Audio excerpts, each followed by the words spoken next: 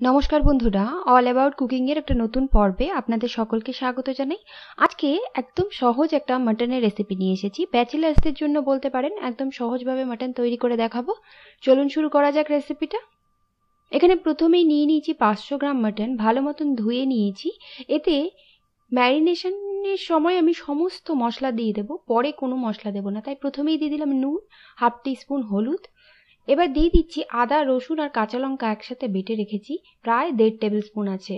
এখানে প্রায় একটা রসুনের কোয়া আর তার সাথে তিন চারটে কাঁচা লঙ্কা আর আদা নিয়েছি এক ইঞ্চ মতন। দুটো বড় সাইজের পেঁয়াজ কুচি, একদম মিহি করে কুচিয়ে নিয়েছি, দেখুন। এটা দিয়ে দিলাম, জিরে দিয়ে দিলাম হাফ টি স্পুন মতন, দই দিয়ে দিচ্ছি এখানে টু টেবিল স্পুন। এবার দিয়ে দেবো টমেটো কুচি, একটা মিডিয়াম সাইজের টমেটো কুচিয়ে নিয়েছি, সেটা দিয়ে দিচ্ছি। কয়েকটা তেজপাতা দিয়ে দিচ্ছি আর দেব এখানে থেতো করে রাখা এলাচ, লবঙ্গ আর দারচিনি। এবার এখানে দিয়ে দেব রেড চিলি পাউডার প্রায় ওয়ান টিস্পুন। এটা আপনাদের পছন্দ মতন দেবেন। ধনে গুঁড়ো দিয়ে দিলাম হাফ টিস্পুন আর তার সাথে চার টেবিল স্পুন মতন আমি তেল দিয়ে দিলাম। একসাথে পুরো তেলটাই আমি দিয়ে দিলাম। পরে আর দেবো না। কাঁচা লঙ্কা দিয়ে দিলাম দুটো। এবার খুব সুন্দর করে এটাকে প্রায় দশ থেকে পনেরো মিনিট ধরে আমাদের মাখিয়ে নিতে হবে। একটু সময় লাগবে এই প্রসেসটায় কারণ এটা যত সুন্দর করে মাখানো হবে, মাংসটার টেস্টটা ততই ভালো হবে। ম্যারিনেশন করে আমি এক ঘণ্টা রেখে দেবো। আপনারা চাইলে বেশি সময় রাখতে চাইলে তাও রাখতে পারেন। তবে এক ঘণ্টা অবশ্যই রাখার চেষ্টা করবেন। এটাকে খুব ভালো করে এমনভাবে মেখে নিতে হবে যাতে পুরোটা একসাথে মিশে যায়, যাতে আলাদা আলাদা বোঝা না যায়। দেখুন, এখানে আমি খুব সুন্দর করে প্রায় দশ থেকে বারো মিনিট ধরে একটু হাতের প্রেশার দিয়ে দিয়ে এটাকে মেখে নিয়েছি। এক ঘণ্টা পর্যন্ত রেখে দেবো এটাকে। এক ঘণ্টা পর আমি কড়াই একটু ভালো করে গরম করে নিয়েছি, আঁচটাকে হাইতে রেখে মাটনটা দিয়ে দিলাম। এবার আঁচটাকে হাই রেখেই এটাকে প্রায় দশ মিনিট এইভাবেই কষাতে থাকব। তারপরে আঁচ কমিয়ে এটাকে কষাতে হবে। হাই আছে, এটাকে দশ মিনিট অনবরত এটাকে নেড়ে যাব।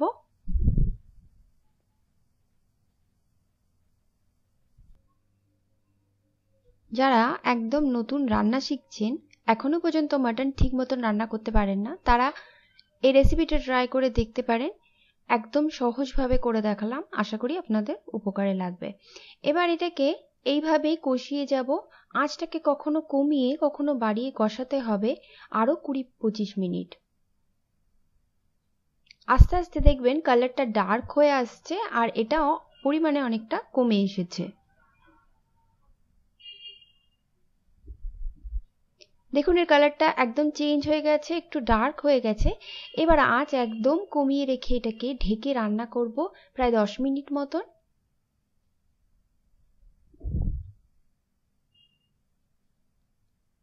ঢেকে রাখার সময় আঁচটাকে অবশ্যই একদম কমিয়ে দেবেন। মাঝে মাঝে এটা ঢাকনা খুলে আবার নেড়ে চেড়ে ঢাকা দিয়ে রান্না করতে হবে। দু তিন মিনিট পর পরই এই কাজটা করতে হবে, না হলে তলায় লেগে যেতে পারে। টোটাল প্রায় চল্লিশ থেকে পঁয়তাল্লিশ মিনিট আমাদের মাংসটা কষাতে হবে। যখন দেখবেন কালারটা একদম ডার্ক হয়ে গেছে আর মশলাগুলো আলাদা করে বোঝা যাচ্ছে না, তখন এটা কষানো হয়ে যাবে। এবার প্রায় এটা রেডি হয়ে গেছে, তেলটাও ছেড়ে এসেছে। এবার এতে একদম ফুটন্ত গরম জল দিয়ে দেব। প্রয়োজন মতন। আপনাদের যতটা ঝোল রাখতে ইচ্ছে করবে, ততটাই দেবেন। আমি একটু ঝোল ঝোল রেখেছি, পাঠার মাংসের ঝোল খেতে ভালো লাগে, তাই একদম শুকনো না করে একটু ঝোল রেখেছি। প্রথমে অল্প একটু দিলাম, দিয়ে এটাকে খুব ভালো মতন কড়াই থেকে ছাড়িয়ে নেব যতটা মশলা লেগেছে। এবার এটাকে প্রেশার কুকারে আমি ট্রান্সফার করে দিচ্ছি।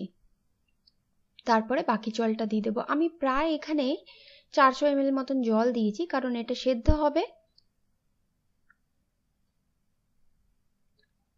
দেখুন প্রেশার কুকারে ট্রান্সফার করে দিলাম, জল দিয়ে দিয়েছি নিজের প্রয়োজন মতন। এবার ঢাকনাটা লাগিয়ে এটাকে হতে দেব। এই পর্যায়ে নুনটা একটু টেস্ট করে নেবেন, আমার ঠিক আছে একদম, তাই আমি আর দিলাম না। চারটে হুইসেলে এটাকে প্রথমে সেদ্ধ করব, তারপরে আলু আমি ভেজে রেখেছি আগের থেকে, সেটা দিয়ে আরও দুটো হুইসেল দেব। প্রথমে চারটে হুইসেল দেওয়ার পর একদম প্রেশারটা নিজের থেকে রিলিজ হতে দেব, তারপর এটাকে খুলছি।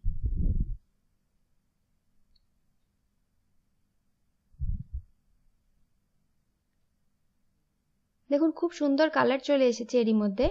মাটনটা সেদ্ধ হয়েছে কতটা? একটু চেক করে নেব। মাটনটা প্রায় সেদ্ধ হয়ে এসেছে। এবার ভাজা আলুগুলো দিয়ে দেবো। আলু ভাজাটা আমি আলাদা করে দেখাইনি। আপনাদের প্রয়োজন যদি মনে হয়, তাহলে দেবেন, নাহলে স্কিপও করতে পারেন। তবে খাসির মাংসতে আলুটা ভালোই লাগে খেতে। ভাজা আলু দিয়ে দিচ্ছি চার পাঁচ টুকরো। আবারও ঢাকনাটা লাগিয়ে এটাকে দুটো হুইসেলে এটাকে সেদ্ধ করে নেব। আলুটাও সেদ্ধ হয়ে যাবে আর মাটনে যতটুকু বাকি আছে সেদ্ধ হতে সেটাও সেদ্ধ হয়ে যাবে। প্রেশারটা নিজের থেকে রিলিজ হওয়ার পর এটাকে খুলবো। মাটন আমাদের একদম রেডি হয়ে গেছে। আলু একদম সেদ্ধ হয়ে গেছে, আমি দেখিয়ে দিচ্ছি। ঝোলটা যদি মনে হয় আপনাদের বেশি, তাহলে আপনারা শুকনো করে নিতে পারেন, তবে এটা ঠান্ডা হলে একটু ঘন হয়ে যাবে। তাই আমি এতটাই রাখলাম। এটাকে একটা বাটিতে ট্রান্সফার করে নিচ্ছি। কেমন লাগল আজকের আয়োজন? একদম সহজভাবে মাটন রান্না করে দেখালাম। ভালো লাগলে নিজেদের ফ্যামিলির সাথে অবশ্যই শেয়ার করে নেবেন। যাদের প্রয়োজন তাদের অবশ্যই কাজে লাগবে। ধন্যবাদ আমার রেসিপিটা দেখার জন্য।